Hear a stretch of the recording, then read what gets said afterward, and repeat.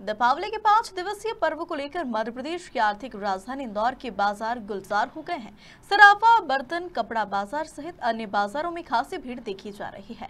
वहीं दीपावली को लेकर सराफा बाज़ार में आकर्षक सज्जा की गई। देश में सबसे स्वच्छ और माहिलिया की नगरी इंदौर में वैसे तो हर त्योहार को उत्साह और उमंग के साथ मनाया जाता है।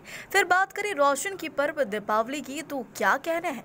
दीपोत्सव को लेकर जितना उत्साह शहरवासियों में होता है, उससे कई जगह जोश और उमंग बाजारों में देखने को मिलती है।